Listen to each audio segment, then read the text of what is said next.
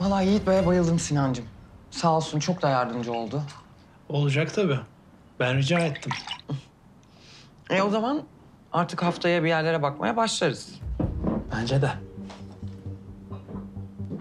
Ya babamın açılışa geldiğini ve benimle nasıl gurur duyacağını düşündükçe o kadar mutlu oluyorum ki. Biliyor musun ona da harika bir sürpriz olacak. Bence de canım. Görüştüğümüzü kimseye söylemiyorsun değil mi? Yo, söylemiyorum da bu gizlilik böyle ne zamana kadar devam edecek? Sonuçta şimdi yeni bir iş yerimiz de oluyor.